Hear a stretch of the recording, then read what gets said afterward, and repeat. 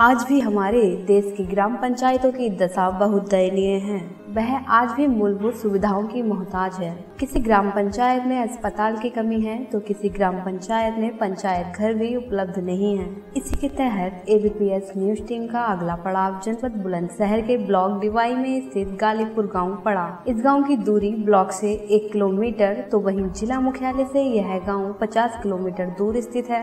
वर्तमान समय में ग्राम वासियों ने संगीता देवी को अपना ग्राम प्रधान चुनकर गाँव के विकास की ज़िम्मेदारी उन्हें सौंपी है। लगभग सात हज़ार की आबादी एवं तीन हज़ार पाँच सौ छप्पन वोटरों वाला यह गाँव विकास के पद पर अग्रसर है। गाँव में एक हज़ार राशन कार्ड धारक लाभार्थी हैं।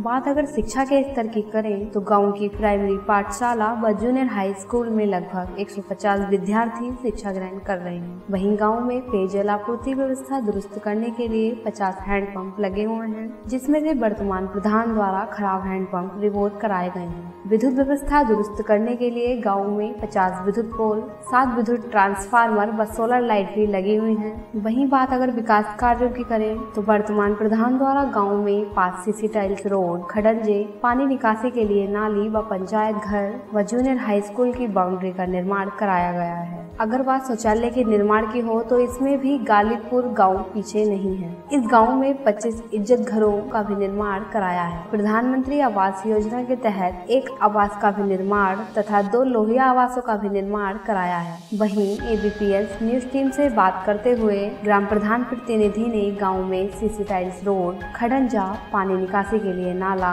स्वास्थ्य केंद्र व घर शमशान घाट, स्वच्छ भारत मिशन के तहत 500 इज़्ज़त घरों व प्रधानमंत्री आवास योजना के तहत 25 आवासों के निर्माण व पथ प्रकाश व्यवस्था दुरुस्त करने के लिए 25 सोलर लाइट व 40 एलईडी लाइट लगवाने की मांग राज्य व केंद्र सरकार से की है। मेरा नाम मुरारी लाल, ग्राम वालीपुर डिवाई जिला बुलंदशहर प्रधानपति मेरे गाँव में काफ़ी समस्या हैं। कुछ का तो मैंने निदान कर दिया है, कुछ अभी बाकी हैं। जिसमें कि दो गाँव में नाले बनवाए हैं, जिनका पानी नहर तक लिया जा सके। जूनियर हाई स्कूल की बाउंड्री और गेट, प्राइमरी स्कूल के अंदर शौचालय, पंचायत भवन की बाउंड्री, पाँच गली इंटरलॉक, पच्चीस शौचालय इस समय सुचारू रूप से चालू हैं कार्य पर, और पाँच सोलर लाइट लेटिन आवास प्रधानमंत्री योजना। नहीं, दो लोहिया आवास योजना और एक प्रधानमंत्री आवास योजना, दो मकान बनाए हुए हैं। गाँव में कुछ रास्ते हैं जो इंटरलॉक हैं। 25 सूर्य लाइट और 40 एलईडी लाइट 500 शौचालय और एक स्वास्थ्य केंद्र और एक बरात घर की ज़रूरत है। शमशान घाट हमारे यहाँ पर नहीं है। प्रधानमंत्री आवास योजना 25 मकान की और आवश्यकता है। खराब नल ग्राम पंचायत के पानी की निकासी की व्यवस्था खराब है। ग्राम पंचायत में स्वास्थ्य सेवाएँ नहीं हैं। ग्राम पंचायत की पर संपत्ति का ब्यौरा कब्जे में है। पंचायत घर की स्थिति इस समय खराब है और गाँव के अंदर भू माफियाओं का आतंक है। थाने में कोई सुनता नहीं है, ना ही तहसील स्तर पर कोई सुनता है। जाते हैं, लिखवा के लेके आ जाओ, थाने में ला के दे दो, उसके बाद थाने से कोई कार्रवाई नहीं होती है। पैसे लेकर के सब काम हो जाते हैं।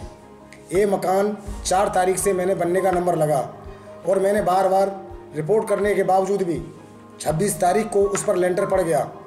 उसके नाम तहसीलदार साहब ने एफआईआर दर्ज की पत्र दिया, थाने में ला करके आज तक उस पर एफआईआर दर्ज नहीं हुई है। और जो भूमाफिया हैं, इन पर थोड़ी नकेल कसी है बाकी मैं अपने गाँव के लिए अच्छा बनाना चाहता हूँ, सड़कें अच्छी करना चाहता हूँ और जो गंदगी मेरे गाँव के अंदर है वो सारी साफ़ हो यही मैं चाहता हूँ।